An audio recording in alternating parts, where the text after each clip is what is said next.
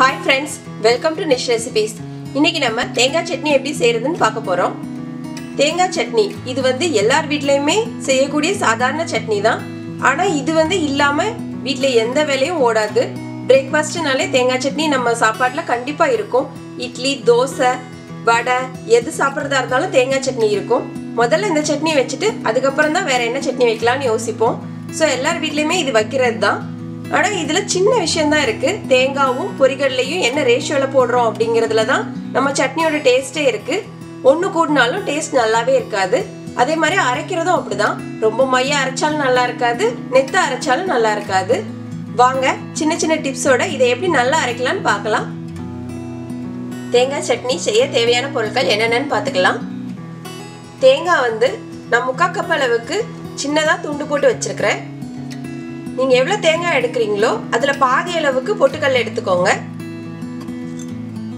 நான் இன்னைக்கு one by three cup எடுத்திருக்கிறேன் பொரிகல்ல காரம் வந்து உங்கள் காரத்துக்கு ஏற்ற மாதிரி நீங்கள் பச்சை மிளகாவோ கூட்டவோ குறைக்கவோ செஞ்சுக்கலாம்.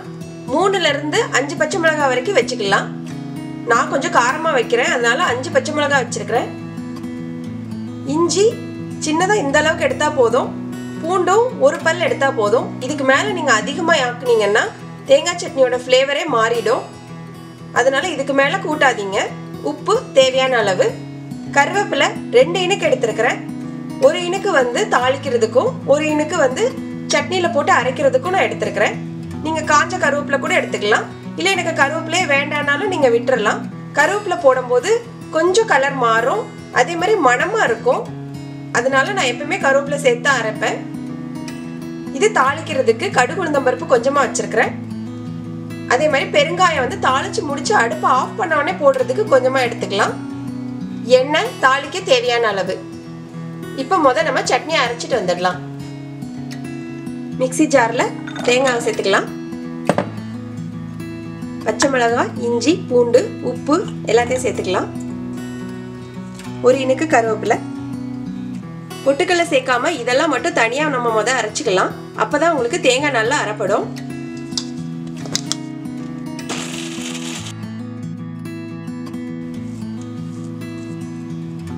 பாருங்க நல்ல தேங்காய் வந்து பூவாயிடுச்சு. இப்போ நம்ம பொரிகல்ல சேர்த்துக்கலாம்.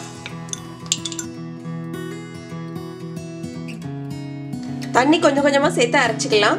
நீங்கள் இப்போ குளிரான ஊரில் இருக்கிறீங்க அப்படின்னா தேங்காய் ஃப்ரிட்ஜில் இருந்து தான் எடுத்திருக்கீங்க அப்படின்னா சுடு தண்ணி கொஞ்சமாக சேருங்க. வெது வெதுன்னு சேர்த்திங்கன்னா தேங்காய் வந்து நல்லா வரும். இல்லைன்னா ஒரு மாதிரி தேங்காயோட கொழுப்பெல்லாம் தனித்தனியாக நிற்கும் சாப்பிட்றதுக்கும் நல்லா இருக்காது.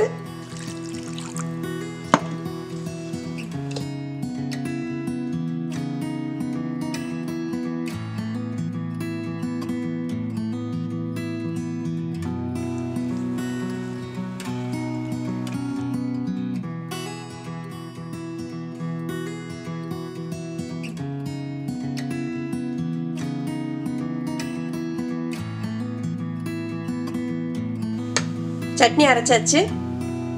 உப்பு உரப்பு எதுனாலும் நீங்கள் இப்போ பார்த்துக்கோங்க அரைச்சி முடிச்சதுக்கப்புறம் காரம் தேவைப்படுதுன்னு நினச்சிங்கன்னா தாளிக்கும் போது ஒரு வத்தல் கிள்ளி போட்டு நீங்கள் தாளிச்சு ஊற்றுனீங்கன்னா காரம் கொஞ்சம் ஏறும் சட்னிக்கு.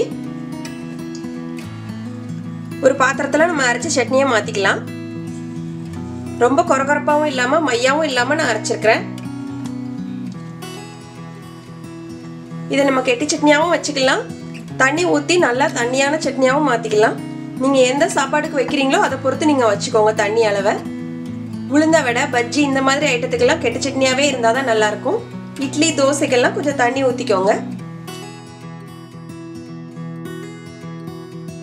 தாளிச்சுக்கலாம் இப்போ. எண்ணெய் சேர்த்துக்கலாம்.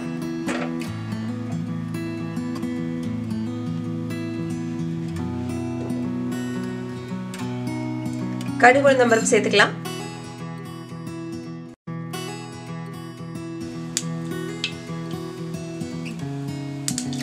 கடுகு வெடிச்சிச்சு நான் கருவேப்பிலை சேர்த்துக்கிறேன்.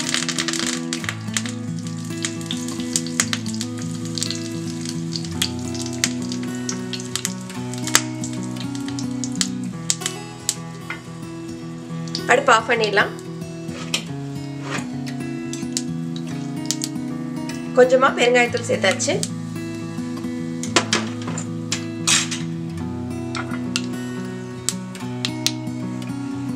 சட்னியில் ஊற்றிடலாம்